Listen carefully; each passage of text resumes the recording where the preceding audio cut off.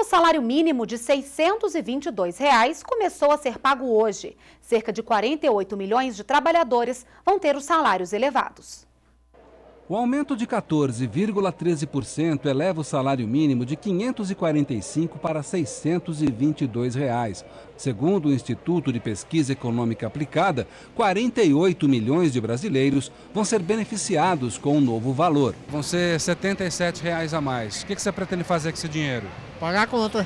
As dívidas, né? Água, luz.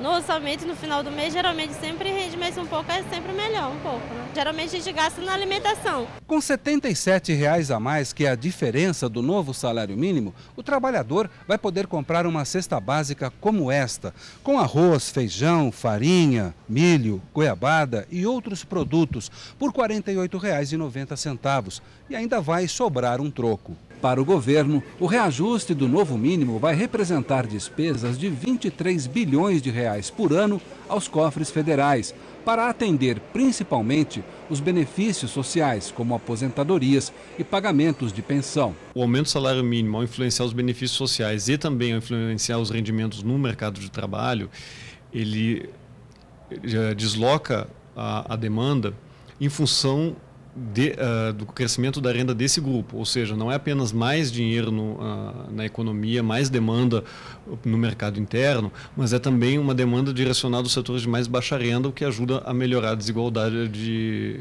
e o uh, aumento de bem-estar.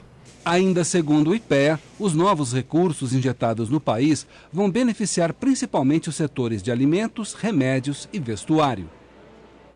Pela lei aprovada em 2011, o salário mínimo será reajustado até 2014 pelo INPC, o Índice Nacional de Preços ao Consumidor, mais a variação do Produto Interno Bruto de dois anos anteriores.